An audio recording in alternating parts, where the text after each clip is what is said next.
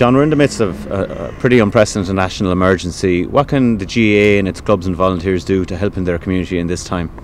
We in the GAA are quite aware of the penetration of our organisation throughout Irish society. That penetration carries a responsibility for us as an organisation, and it's incumbent upon us to make decisions that benefit and support the actual operation of our country because this is a national emergency and that's why we made a very clear decision to shut everything down with no ambiguity across training and games until the 29th of March. That was the right thing to do as, for us as an organisation and I would encourage all our membership to adhere to all the guidelines being given to them by ourselves and by the health authorities to actually comply with them and I think with that it will help us all come through this in time. Our games are important, but health and well-being is far more important than anything else. Would you be encouraging uh, clubs maybe to look after the more vulnerable members in their community at times like this?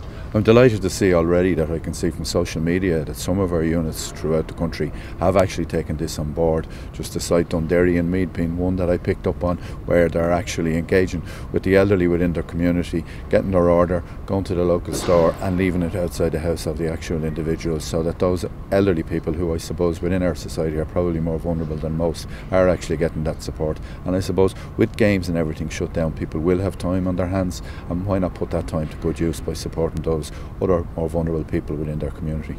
Because it's a fast moving situation, we don't know what, what's going to come next, but there will always be a GAA and there will always be a time after this.